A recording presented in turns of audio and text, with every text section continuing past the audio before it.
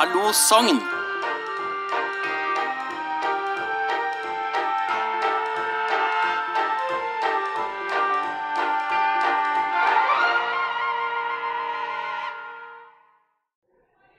Da er vi inne fra eh, Quality Sogndal Hotel. Det er klart for valgvake framfor valget 2023.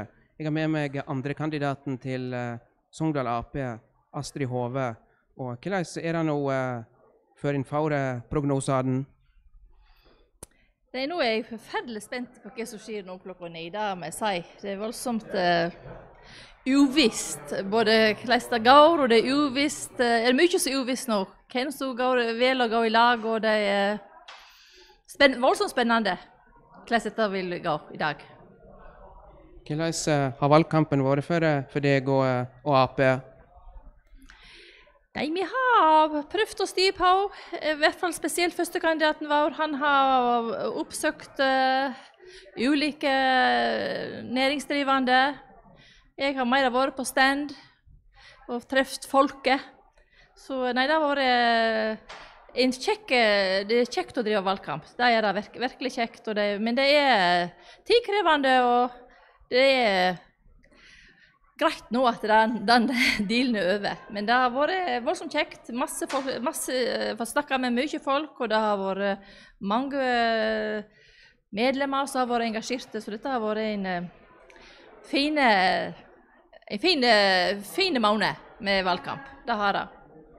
Godt samarbeid i partiet imellom òg, så vi har hatt en god tone alle sammen som har vært med på eh, valgkampen.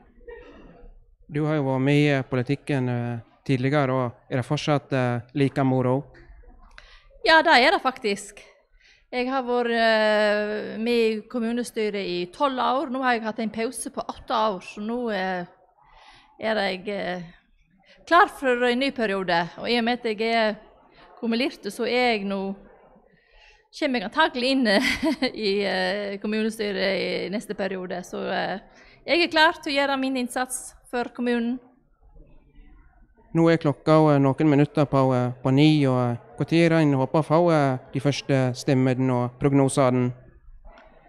Nei, det er ikke så uh, Forhåndsstemmen blir vel nå uh, måtte si, kommer vel fram nå i nitiden, så det, det, er rett og slett spennende. Så nå uh, spørs vi må inn og sette oss og se hva, hva de uh, legger fram av tall. Det er voldsomt spennende. Men da håper vi på et godt valg for Ap her i Sogndal. Jo, takk. Det gjør vi.